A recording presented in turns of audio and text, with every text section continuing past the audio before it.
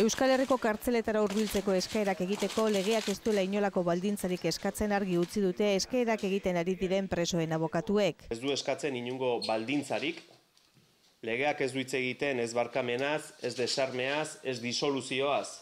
Barne ministroak egindako adierazpenei erantzunez esan dute iruzurra legeak dioena ez betetzea dela. Legeari zurra da egitea da e, legearen aurkako neurriak mantentzea.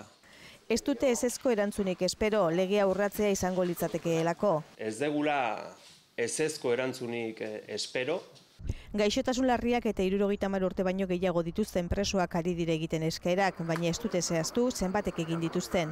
Kartzela bakoitzeko tratamentu batzordeak sei hilabete ditu bilera egin eta txostena osatzeko.